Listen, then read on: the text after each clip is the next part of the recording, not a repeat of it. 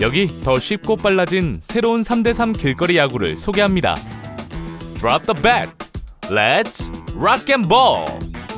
락앤볼은 야구를 가장 간단하게 플레이할 수 있게 만들어진 길거리 야구 게임입니다. 이제 주먹과 공 하나만 있으면 누구나 어디서나 야구를 즐길 수 있습니다.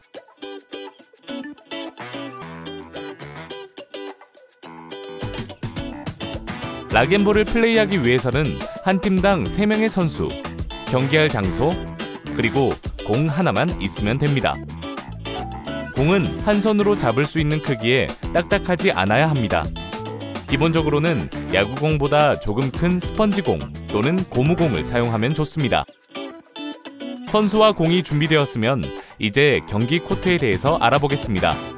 락앤볼은 농구장 반개 정도의 공간만 있으면 어디에서든 플레이할 수 있습니다. 경기 코트는 3개의 베이스로 이루어진 9m 정삼각형이 중심이 됩니다. 각 베이스는 50cm의 삼각형 형태로 이루어집니다. 3개의 베이스 중 하나를 홈베이스로 정하면 나머지는 시계 반대 방향으로 1루, 2루가 됩니다. 1루와 2루를 연결한 선에서 3m 떨어진 곳에 외야 담장선을 그립니다. 외야 담장선은 벽이나 담장을 활용하거나 혹은 라인만 그려져 있어도 상관없습니다. 경기 코트는 홈베이스에서 각 베이스로 이어지는 라인의 연장선을 기준하여 페어 지역과 파울 지역으로 구분합니다. 홈베이스를 기준으로 마주보는 두 개의 삼각형은 각각 타자가 공을 치는 타석과 내야 파울 지역이 됩니다. 이것이 락앤볼의 가장 기본적인 코트의 형태입니다.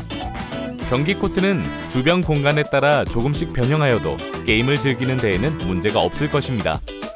지금까지 락앤볼을 플레이하기 위한 준비 과정을 알아보았습니다. Drop the bat. Let's rock and ball.